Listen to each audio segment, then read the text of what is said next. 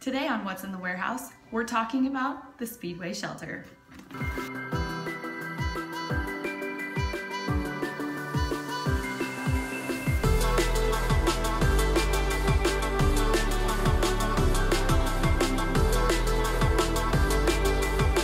I'm demonstrating on our mini model, located in our showroom, but our warehouse stocks several sizes, from standard motorcycles to ATVs and trikes.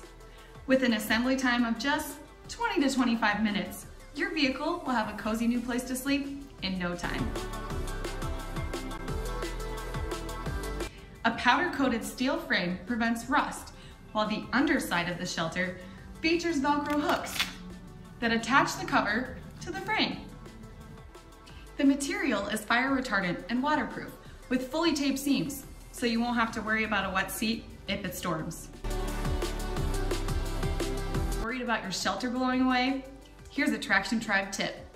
Anchor your shelter to the ground or to a portable base for extra durability against the elements. Flooring is available and sold separately at MidwestTraction.com.